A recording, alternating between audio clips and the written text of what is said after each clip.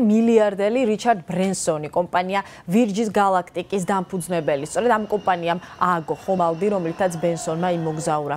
მისმა რაკეტამ დედამიწას 88 კილომეტრის სიმაღლიდან გადაუფრინა.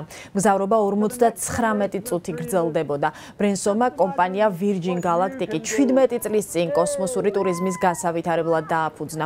მე გახსენეთ, რომ ამ დროისთვის Virgin Galactic-ის გარდა კოსმოსში მოგზაურობის უზრუნველსაყოფად კერძო კომპანიები Amazon Amazon-ი და SpaceX-ი მუშაობენ. I think like like uh, most kids როგორც ყველა ადამიანი ბავშვობიდან უცნობობდი ამ მომენტზე. ასეთი რამისთვის ვერავინ მოგამწადებს. ეს ჯადოსნური გამოცდილება იყო. როცა შევხედე დედამიწას კოსმოსიდან, ჩემს თავს ვკითხე, აქ რას ვაკეთებ?